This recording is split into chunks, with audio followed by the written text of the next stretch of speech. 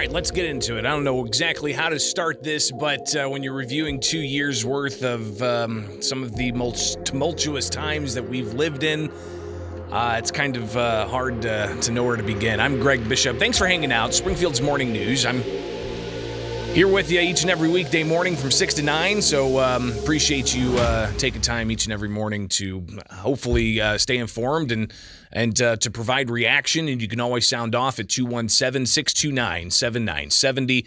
Uh, you can also email bishoponair at gmail.com or find me on Twitter, Facebook, Instagram, and YouTube. Just search Bishop on Air. Now, 640, and uh, let's do a little bit of a flashback here uh, from two years ago this week. Now, uh, if you recall, we had uh, just a bit of a you know overview of where we've come from. Early 2020 saw images coming out of uh, China. They were alarming. Uh, the images, by the way, flashing back forward here, the images coming out of China again are, are alarming.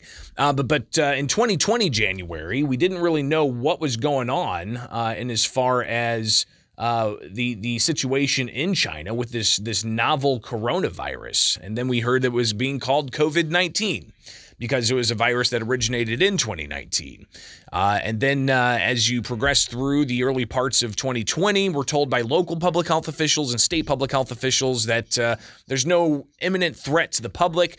That quickly changed to Governor J.B. Pritzker uh, ordering restaurants to not allow for indoor service. And then uh, days later, uh, announcing a statewide stay at home order for people to stay home uh, and only essential workers, what he deemed essential workers, uh, were allowed to to leave home, uh, according to the order. Now he said that you know, he wasn't going to have police go around and bust up gatherings, but people could have been cited for being in gatherings of 10 or more uh, because he kept progressively shrinking the number of gatherings that people could have, including at churches, including at schools, including just private events. Your right to peaceably assemble uh, were being uh, constrained by the governor's COVID 19 uh, mandates.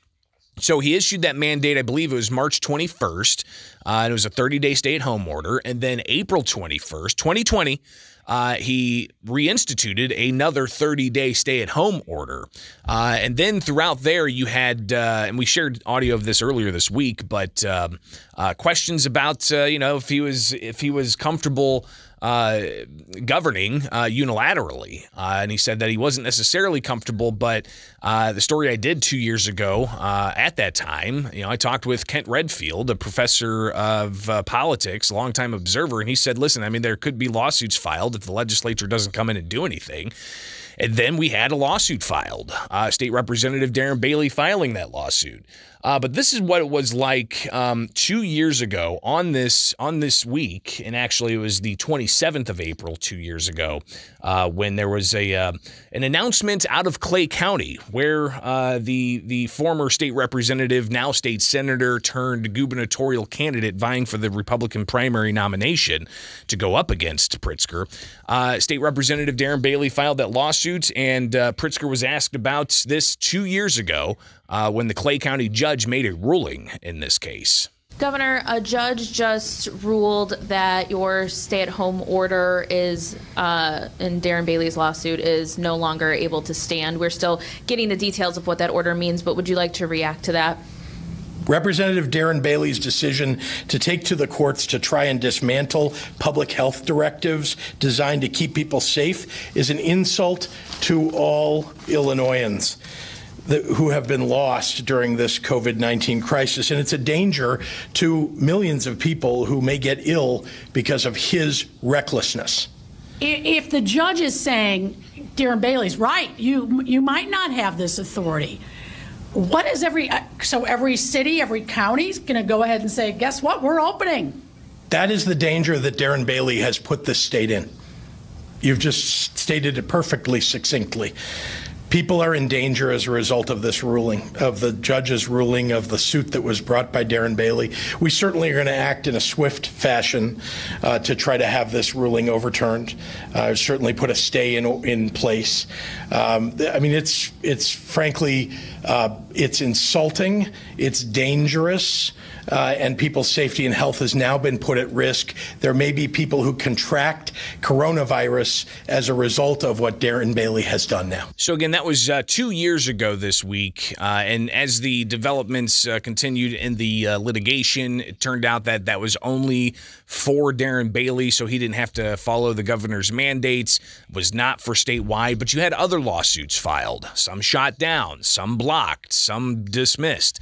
Others proceeded forward as the governor continued, you know, the, the mitigation efforts he said was meant to slow the spread of COVID 19, including keeping kids from school, requiring masks, uh, uh, continuing to dial up or dial down uh, capacity restrictions for restaurants. There's still a lawsuit concerning uh, the governor's uh, impacts on restaurants uh, during that time, one that's pending in Sangamon County from a Geneva based restaurant, Foxfire.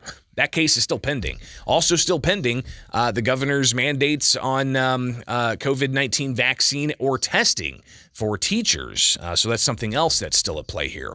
Uh, and we'll actually revisit that a little bit uh, here in a moment. But uh, I did want to kind of fast forward a bit now to this week, two years later and uh, where we're at in the pandemic. Dr. Anthony Fauci was asked about this on ABC uh, over the weekend. And uh, here's some of what uh, he had to say when asked where we're at in this uh, pandemic phase uh, for, for the United States as a whole. Here's Dr. Anthony Fauci. How close are we to the end of this pandemic? Well, that's an unanswerable question for the following reason. And, and I don't want to be evasive about it, but let me tell you why I'm giving you that answer, Judy we are certainly right now in this country out of the pandemic phase. Namely, we don't have 900,000 new infections a day and tens and tens and tens of thousands of hospitalizations and thousands of deaths. We are at a low level right now. So if you're saying, are we out of the pandemic phase in this country? We are. What we hope to do, I don't believe, and I've and I've spoken about this widely, we're not going to eradicate this virus. If we can keep that level very low and intermittently vaccinate people, and I don't know how often that would have to be, Judy, that might be every year, that might be longer in order to keep that level low. But right now, we are not in the pandemic phase in this country. Pandemic means a widespread throughout the world infection that spreads rapidly among people. So if you look at the global situation, there's no doubt this pandemic is still ongoing. So Dr. again, that's uh, Dr. Anthony Fauci uh, talking to ABC and uh, saying that we're no longer in the pandemic phase. Now, apparently, he's come out and and, and walked that back a bit and said that uh, uh, we're still in a pandemic, or you know, we still have to have caution and concern, and uh, we're just in a different phase of the pandemic. But Governor J.B. Pritzker was asked about this yesterday here in Springfield when he was at a unrelated event uh, and uh, laid out that uh, he he you know is trying to clarify for Fauci what Fauci said there, uh, but also uh, he was asked about uh, if he's going to continue his COVID nineteen um, emergency declaration, and this is what. Um, this is what uh, Governor Pritzker had to say in response to uh, Fauci, but also whether he's going to continue those uh, COVID 19 emergency declarations. I don't think he said we're out of the pandemic phase, but but he did say that the worst of the pandemic phase he thinks is behind us, um, and I I hope and pray that uh, you know, and I would trust his opinion. I hope and pray that he's accurate in that statement. Um, you know, my view is that we're being vigilant. Um, as you've seen, we no longer have mask requirements across the state.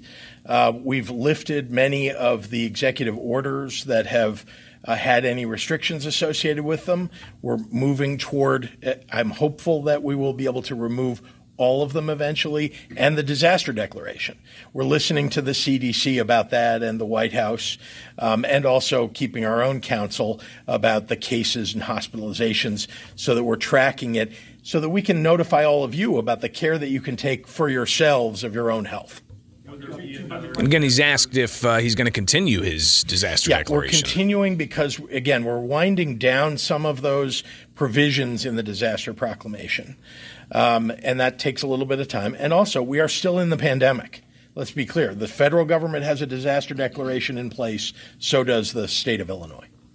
So again, that's uh, Governor J.B. Pritzker yesterday being asked to react to uh, the uh, White House COVID advisor, Dr. Anthony Fauci, saying that uh, we're we're out of the pandemic phase, but then having to walk that back. Uh, and ultimately, Governor Pritzker says he's going to re up his uh, ongoing what would be, I think, the 25th disaster proclamation concerning COVID 19.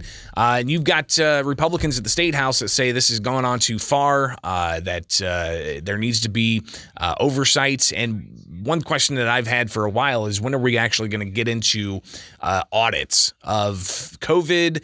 investigating uh, how much money was spent on contact tracing, uh, investigating how much uh, impact the the pandemic restrictions had and were they actually beneficial. We've already seen some reports, but will the state house actually delve into that type of thing as well? It's an election year. We shall see. Uh, coming back, we'll talk about one of the measures that uh, the governor refiled despite JCAR doing various things. Uh, so we'll talk about COVID 19 vaccine and testing mandates on teachers while the governor signs a series of bills to help with the teacher shortage. So stay tuned. That's coming up here on WMAY with Springfield's Morning News. I'm Greg Bishop on 92.7 WMAY, Springfield's News and Talk. Springfield's five day dependable forecast. We've got a high of 67 today, the low of 53, with the possibility of some shower. Back with WMAY's Springfield Morning News. I'm Greg Bishop. We've been talking about COVID 19, and Governor J.B. Pritzker yesterday uh, signed a series of bills, and that's on top of other bills he's signed to address the teacher shortage. Uh, some that he's already signed deal with allowing for retired teachers to work more hours in the classroom without impacting their pensions. Yesterday, he signed a bill that uh, lowers the the certification costs for a retired teacher from $500 down to 50 uh, also lowering some of the thresholds for younger aspiring teachers to get into the profession. Uh, so he talked about, you know, all the things that they're doing to deal with the teacher shortage. Uh, he says that there's around 2,000 uh, vacancies across the state that need to be filled in order to best teach our children.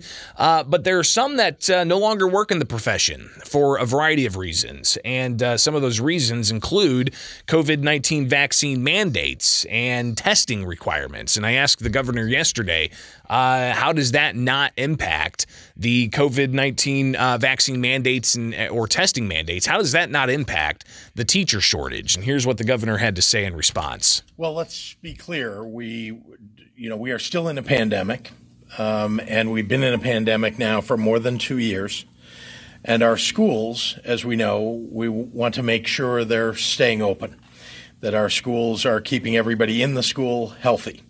Uh, it's very important for people who have leadership positions, teachers especially, uh, who are together with many kids in classrooms all day long, uh, six to eight hours in school together, uh, are vaccinated. And so we've asked them to get vaccinated. We've required them to vax or test. Uh, and if they're unwilling to do those things, it seems to me they're unwilling to keep the community of the school safe and the community at large safe. Now, I talked with uh, a teacher who was fired back in December, uh, Matt Allen. He is a former uh, teacher here in the Springfield area who taught history and government. He says he was fired for not uh, complying with vaccine or testing mandates. Yeah, ironic, isn't it? You know, the, I stood up for almost 20 years teaching and preaching about our country and our freedoms and liberties and how, you know, motivating young people to, and inspiring young people to to teach them lessons of sacrifice and of, of our country and, and, about all the people who've sacrificed before to keep the liberties we've ha- we have from tyranny. And uh, cases still pending uh, when it comes to vaccine and testing mandates. So we'll uh, be watching that space closely. It is WMAY. From the Fly